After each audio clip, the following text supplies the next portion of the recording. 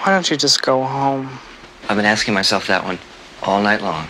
So what happened? Why can't you? I met this girl tonight, okay, in a coffee shop. I feel like something incredible is really gonna happen here. So when I got home, I gave her a call. On the cab on the way down here, all my money flew out the window. I didn't really get along with her that well. What's the matter? I said, I want to see a plaster of Paris bagel and cream cheese paperweight. Now cough it up. So I left. So I haven't got enough money to get home until I meet this bartender who wanted to lend me the money. That's all right. That's all right. Forget it. Forget it. That's all right. Poor boy. So I go back to the girl's apartment, but her roommate's really pissed off at me for the way I treated her friend. This the guy?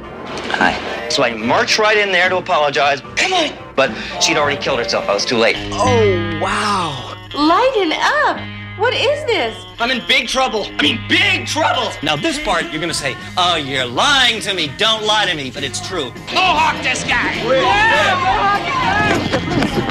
I couldn't believe that. That's him. Tell him it's not my fault. I didn't do it. I gotta tell who you didn't do what. Help! Help! Help! Call the police! What's with you? Are you nuts or something?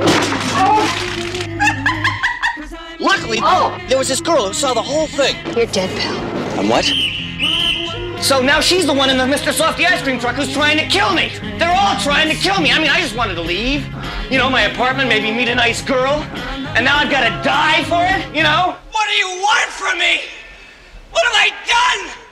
I'm just a word processor, damn it. Is that all there is? After Hours, when anything can happen, and usually does. Is that unbelievable or what? That's all there is.